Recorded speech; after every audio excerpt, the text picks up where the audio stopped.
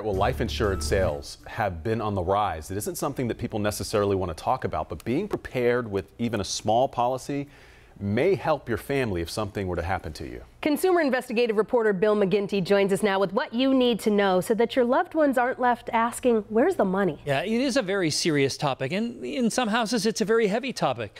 You might be thinking that COVID is pushing this trend, and that would be partially true, but the truth is, life insurance has been trending upward since 1983.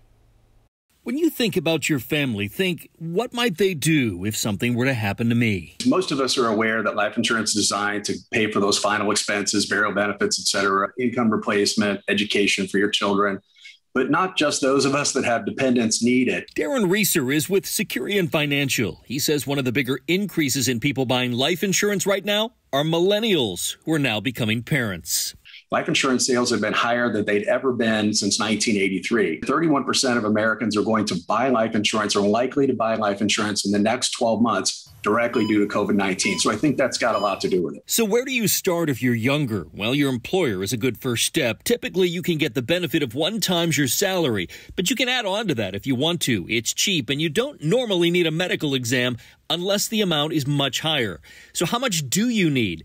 Well, weigh your debt and your family's needs if you're gone. Your debts don't just disappear. If you have co signed obligations like a car loan, the other person will still be responsible it's always a good idea to make sure that you leave your primary beneficiary as somebody that's a loved one that you know you can count on in the event that something untimely happens to you, that they'll be able to direct that.